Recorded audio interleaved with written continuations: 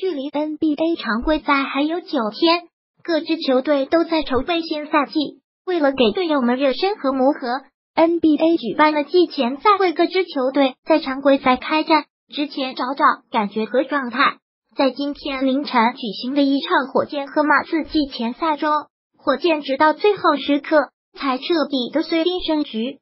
这场比赛，火箭也只能算是险胜。火箭这边，哈登得到十八分加九助攻。保罗得到十一分加九助攻，刚刚复出的塔克状态出色，砍下十九分。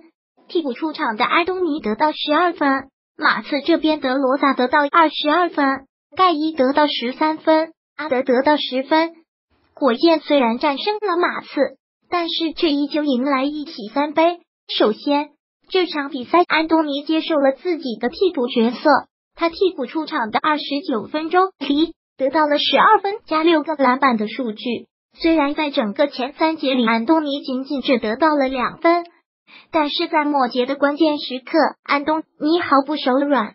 他在整个第四节表现非常出色，他连续在关键时刻砍下十分，帮助火箭保持领先优势，和队友的配合也是相得益彰。这对于火箭来说无疑是喜事。安东尼开始接受了替补角色。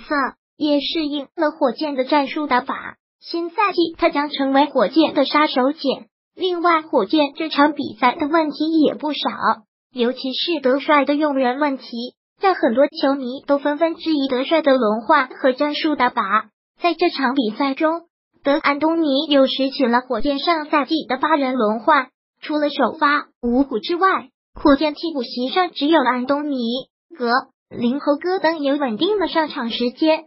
其他球员卡特、威廉姆斯、内内、克里斯、周琦等球员均未上场比赛。很多球迷对于德帅的用人方式极为不满，部分球迷甚至在网络媒体上炮轰德帅的轮换方式固执。另外一点是，作为火箭核心，哈登在整个季前赛的表现不佳，过去三场比赛里哈登命中率只有百分之三十五点九，接连的在外线打铁。